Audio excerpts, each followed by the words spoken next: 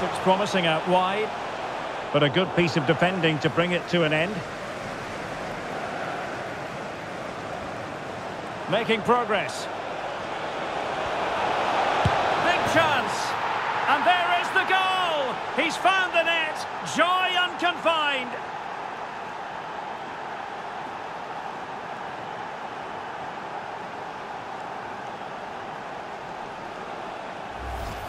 Well, here it is again, and it's all about the pace on the counter-attack. They were so quick to break out from their defensive positions, but the keeper should do better,